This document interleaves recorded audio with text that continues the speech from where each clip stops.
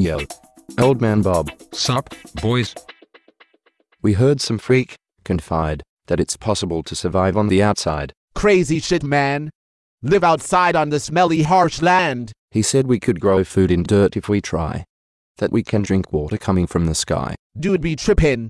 On too much booze I sippin'. You lived before the transition time.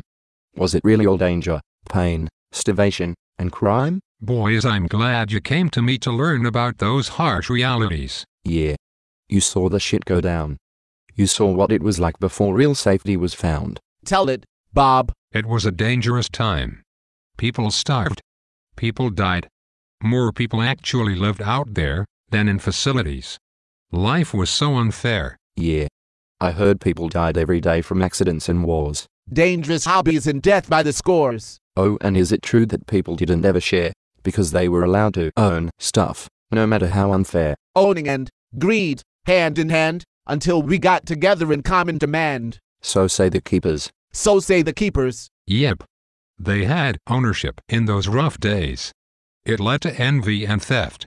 It led to violent ways. The freak who hears voices was saying we own ourselves, so no one can own us, and that we have choices. With choices you can choose to cause harm. No safety out in that loony farm. It is crazy talk. Imagine if people thought they have choices. Oh man. Everyone would stop working. Nothing but whiny voices. I'd tell the keepers to clean their own toilets for a start. It would be chaos and really long food lines. No one wants to go back to pre-transition times. No way. Everyone driving around in powerful machines crashing into each other whenever they hate. Like the movies they show us every day. Everyone picking whatever jobs they want. Fun and easy. I'd play football or deliver pizza, extra cheesy. And who would clean toilets or make roads, when anyone could just do what they chose? I heard people just ran around raping women. Balls held us down and held us back.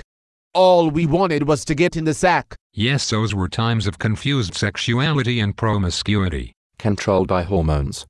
How did they get anything done? Masturbating, copulating, no peace.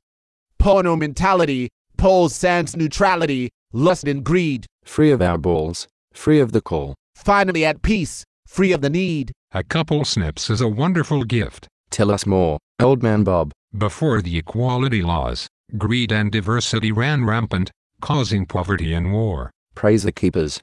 They keep us equal and safe. Praise the keepers. They keep us equal and safe. Praise the keepers.